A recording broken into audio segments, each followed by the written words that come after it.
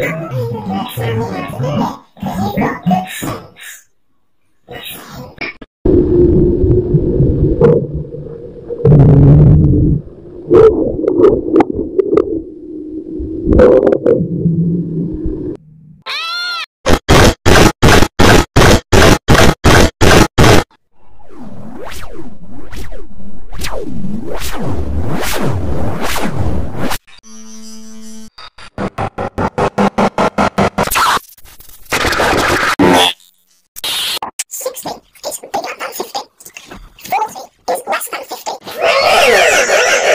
Right off the edge there. Oh look, I got it, 180.